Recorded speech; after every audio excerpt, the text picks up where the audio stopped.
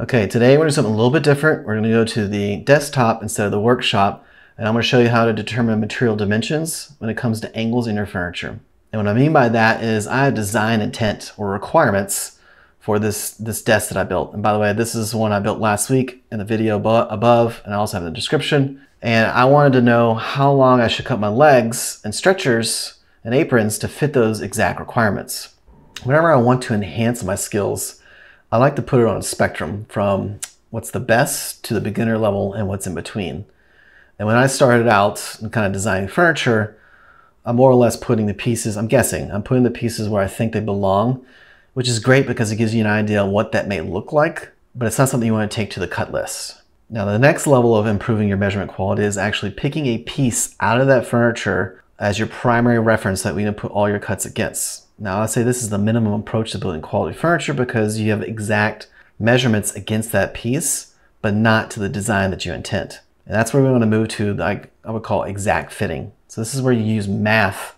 So if I want a five degree angle or I want 28 inches from the, you know, from the bottom of the floor to the tabletop, you know, you're leading with what you want versus fitting to a particular piece. And then you need to know math to get there.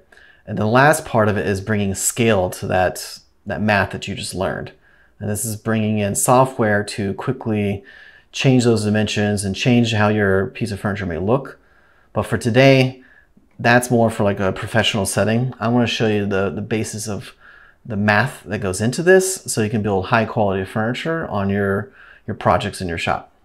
So last week I released a white oak desk build. Uh, you can see the link in the description or above where I had some design features I wanted to incorporate it and I wanted my build to fit exactly those dimensions as intended. So here are those. I had the desk I wanted to be 29 inches tall and a depth of 25 inches. I wanted a slight angle, about five degrees on those legs, and I wanted those legs to be one and one half inch width. The other component is that I wanted the inset of my table legs at the bottom to be one inch from the table top edge. Now my thought here was that as you walk around your desk, you don't want those legs to be, you know, at the same width or even further out because you'll run the risk of tripping over them. And the biggest questions of all this is how long should I cut those legs, the aprons, and the stretchers to fit exactly those requirements rather than just guessing. Now, there are two math functions that we can leverage here to get that leg length and what are those angles. And the first is Pythagorean theorem. So this allows you get an unknown length of any right triangle, which we're solving for C. So in woodworking, we want to identify what's that leg length? So when we take a squared plus b squared equals c squared and we solve for c, we can get that leg length. The other component of it is what is that angle when it comes to right that same right-sided triangle that I need to make a miter cut against it. And that's where we use inverse tangent. Now, these seem very complex and takes you all the way back to high school and you may be triggered right now, but I'm gonna walk you through this. It's actually very simple and I got calculators in here that you can just plug in the numbers that allows you to get those exact dimensions. So keep this link as a reference. You can come back towards it. So here's are some live examples. I'll walk you through, keep it very simple. And I have links to each one of these components here so you can use a Pythagorean theorem calculator. You can change these decimals to a fraction or you keep, you know, for imperial uh, or metric. And same thing with the inverse tangent. So here's an example where we are solving for C. Let's say we have a table leg here. We don't know the angle of it yet, but we want to know what that length is. But we want the table depth to be 27 inches, and we want it to be inset 5 inches. What is the length of that leg? So this is where we take the a squared plus b squared equals c squared, which is the Pythagorean theorem, and we plug that in. Now when we do five, the square root of 5 squared plus 27 squared, so that's these two measurements right here, we get 27 inches 0.45 or in imperial it's 27 and 29 64ths. The other component of it is what is the angle that I need to cut that miter on so that I have the exact length of this leg. So using the same dimensions here, I'm going to use a function called inverse tangent. So this is so this is a trig function where you take the opposite side length, so 27, over the adjacent side, 5, and this is all from the angle of what you're looking at. So inverse tangent of 27 over 5 is 79.5 degrees.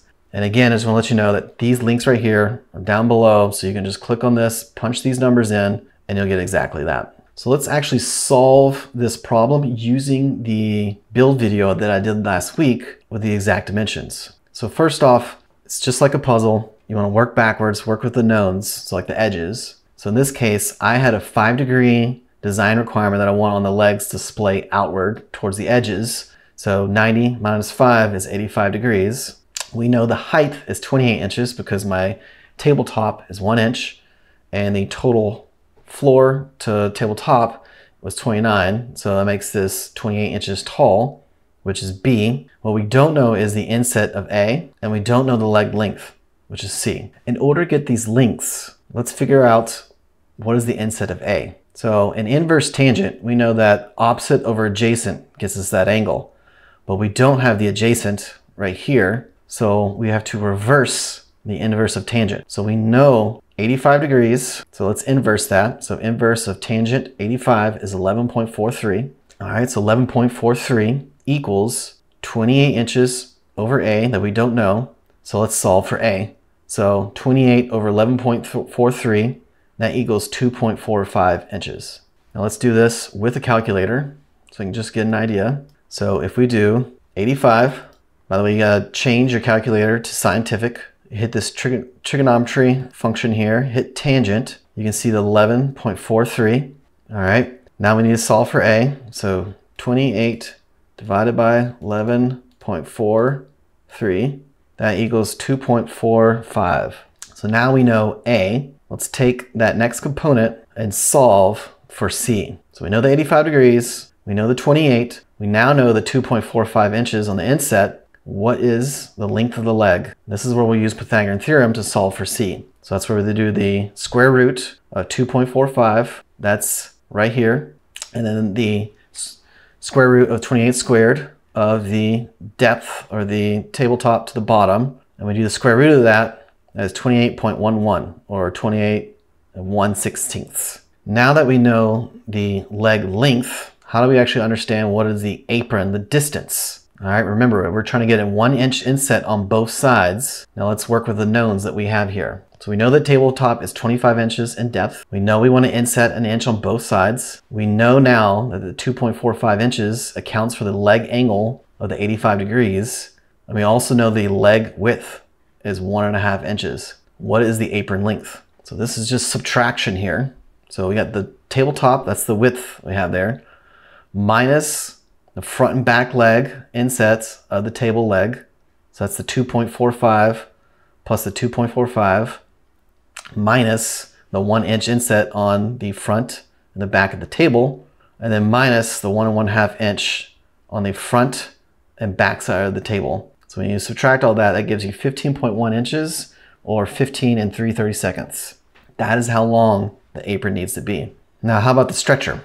Now, this all depends on how far down you want to make your stretcher go. In this case, I want it to be 10 inches. So let's work with all the knowns that we have here. We know that the apron length is 15.1 inches. We know the base is 15.1 because when I make a rectangle, I make it 90 degree it now becomes a rectangle. And we want the stretcher to be 10 inches below the apron. So now that we got part of this triangle here, we're basically doing the exact same steps here that we did on the legs to get out those dimensions. So what is the stretcher length? So we know five degrees is this little area right here. Now we need to work backwards. We don't know the opposite of this little triangle here, but we do know the adjacent, which is 10 right here. So if we do tangent of 5, that equals 0.087. So we solve for O, that is 10 times 0.87, which is equals 0.87 of an inch. So what you do is now you have that little dimension here for both sides now. So you add the stretcher length, which is 15.1,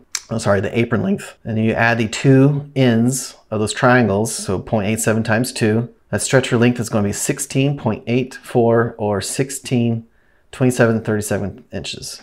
And that's how you solve getting all the dimensions to exact for your cut list.